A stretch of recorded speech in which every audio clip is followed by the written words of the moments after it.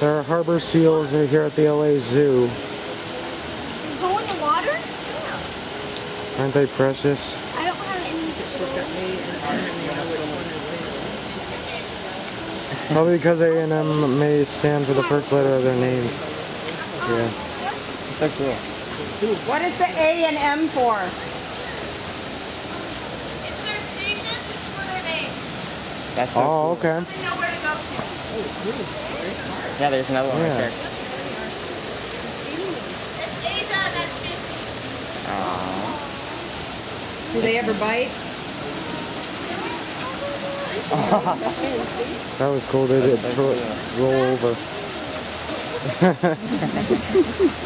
oh, that's cute. I want one. Seals. How much Har- they? harbor seals. Look at that one over there. The one that go to frisbee.